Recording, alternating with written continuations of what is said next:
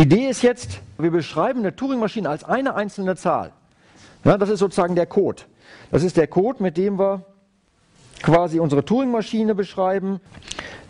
Wir können jetzt, also das, das Ziel dieser Gödelisierung ist, dass wir unsere Turing-Maschine so beschreiben, dass wir sie hier einer anderen Turing-Maschine als Eingabe geben können. Ja, quasi, das ist ja wie ein Programm, was wir der, diesen, dieser Maschine U äh, als, als Programm geben. So, und das baut sich wie folgt auf.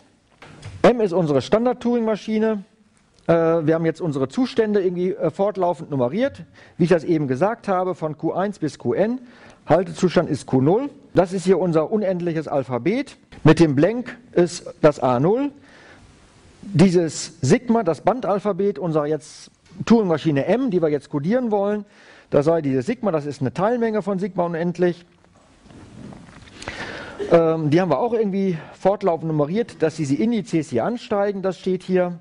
So, wie wird jetzt nun der Code gebildet für so eine Turing-Maschine?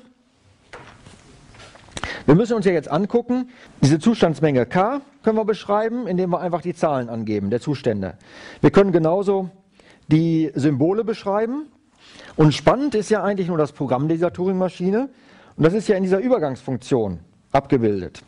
Ja, und da gucken wir uns einfach an, alle Möglichkeiten, die wir hier haben, von einem Zustand und einem Zeichen irgendeine Aktion auszuführen.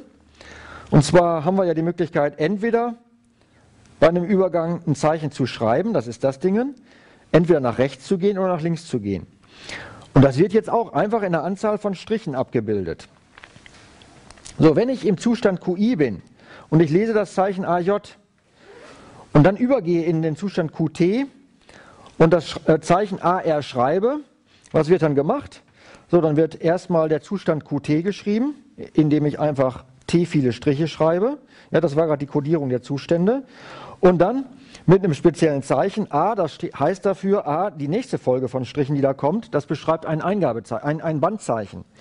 So, und das Zeichen R wurde kodiert durch R plus 1, hatten wir eben gesagt, weil das Blank mit der Null gekennzeichnet ist und dafür, wir, wir dafür einen Strich verwenden. Wenn wir QI in Q, äh, Zustand QI sind, das AJ lesen und nach rechts gehen, ja, dann schreiben wir auch den Folgezustand, das ist der Zustand Qt. Und das ist das griechische Rho, kleine Rho, das steht für wir gehen nach rechts. Einfach als Sonderzeichen. Und dann, äh, wenn wir nach links gehen, dann schreiben wir halt das griechische Lambda, äh, wir gehen entsprechend nach links. So, so codiere ich einen einzelnen Übergang.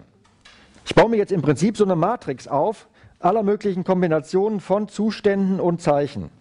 So, und dann schreibe ich die einfach zeilenweise auf. Ja? Äh, und zwar für jeden Zustand, den ich hier betrachte, gibt es eine eigene Zeile. Und eine Zeile kodiere ich einfach auch durch, eine, durch ein paar Sonderzeichen. Alpha steht für, es fängt eine neue Zeile an. Beta steht dafür, dass quasi ein neuer Übergang beschrieben wird. Und dann kommt der Eintrag EI0, ja, den ich hier sozusagen entsprechend definiere. Dann wieder ein Beta für den nächsten Eintrag. Das ist sozusagen, das sind unsere einzelnen Spalten. Also ich baue jetzt eine Matrix auf, bestehend aus Q0, Q1 bis Qn. Und hier kommt dann irgendwie A0 bis AL. Ja, und ähm, ein einzelner Eintrag ist dann EIJ. Ja, und eine ganze Spalte ist E10 bis E1L. Äh, das ist eine, eine Zeile, ist das, Entschuldigung. Ich brauche ein paar Tennzeichen dazwischen. So, und das gesamte Wort der Maschine, also das Gödelwort zu dieser Maschine M, ist halt definiert, indem ich einfach die einzelnen Zeilen hier hintereinander wegschreibe. Neuer Zeilenanfang ist immer dadurch gekennzeichnet, dass ich hier auf so ein Alpha treffe. Anfangszeichen für eine neue Zeile.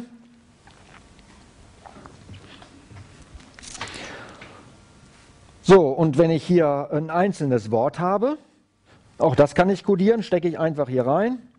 Ja, und dann äh, schreibe ich einfach diese Zeichen hintereinander weg. Dieses A steht einfach dafür, aha, die nächsten Striche, die da kommen, sind halt ein Code für das entsprechende Zeichen. Genauso hier die, die Zustände gebe ich einfach eine Anzahl von Strichen an. So, und so kann ich jetzt im Prinzip eine einzelne eine, eine Turing-Maschine komplett durch eine Folge von Strichen, letztendlich durch eine Zahl und ein paar Sonderzeichen, kann ich eine ganze Turing-Maschine beschreiben.